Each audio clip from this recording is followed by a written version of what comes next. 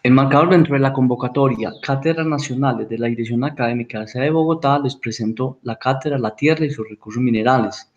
Yo soy Luis Hernán Sánchez Arredondo, profesor adscrito al Departamento de Materiales y Minerales de la Universidad Nacional de Colombia, sede de Medellín. En la presente gráfica les presento algunas estadísticas relacionadas con la distribución de las luchas sociales según el recurso explotado en Colombia.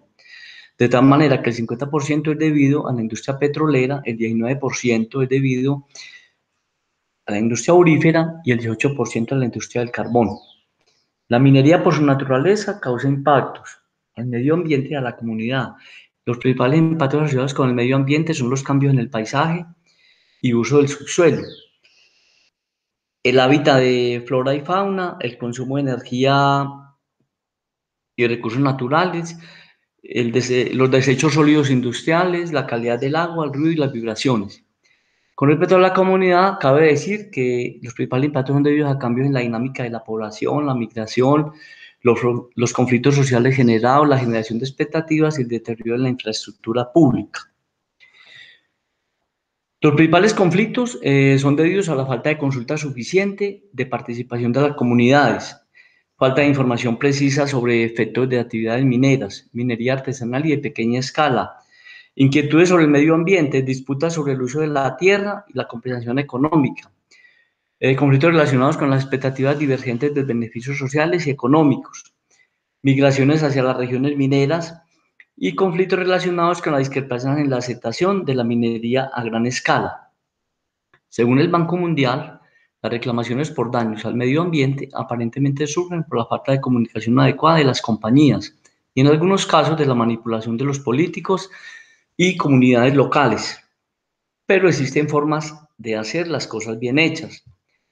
Entre ellas es la construcción previamente de la línea de base. La línea de base ambiental describe el área de influencia directa e indirecta de un proyecto. Con la línea de base ambiental se busca garantizar el estado de todos los elementos que componen el medio ambiente antes de que el proyecto inicie las labores productivas con el fin de elaborar planes de mitigación, o establecer claridad sobre las condiciones iniciales de la zona.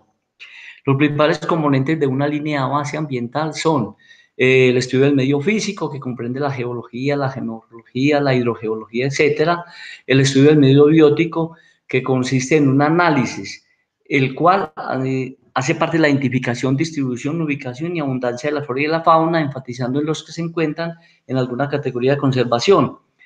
El estudio del medio humano, considerando la población urbana y rural, etcétera, y el medio construido, establecimiento de zonas arqueológicas, turísticas y actividades económicas, etcétera. A través de esta cátedra virtual pretendemos capacitar a los estudiantes de la Universidad Nacional de Colombia en los temas relacionados con las ciencias de la tierra y su aplicabilidad a la explotación sustentable de los recursos del subsuelo. La cátedra La Tierra y sus recursos minerales se ha diseñado para 400 estudiantes de las diferentes sedes y dirección de presencia nacional, incluyendo todas las carreras y consta de tres grandes bloques, el estudio de los procesos endógenos de la corteza terrestre, el estudio de los procesos exógenos y la categorización de los materiales terrestres. Muchas gracias.